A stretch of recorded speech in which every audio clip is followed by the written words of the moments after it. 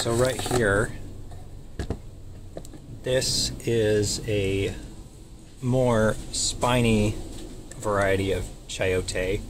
Um, but if you've ever thought about growing chayote and weren't sure how to do it, it's pretty simple. You just plop the uh, the fruit, or it's used as a vegetable, whatever.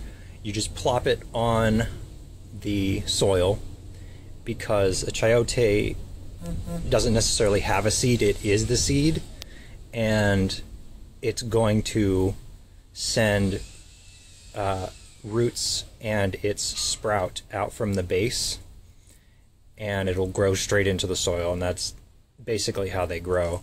I can show you if I can do this here. These ones are kind of iffy to grab because they're spiny. So right here, you can see all the roots that it's got. So you don't have to do it this way. You can just plop the thing down in your raised bed or in the soil or wherever it is. And you don't even have to bury it. You can partially bury it or just like I did here, I just placed it on top and it sent its roots down and is sending its um, shoots upward. So it has, um, it's a type of squash. So it's going to have little tendrils. You can see one right here. It's going to attach itself to whatever it feels like and start growing.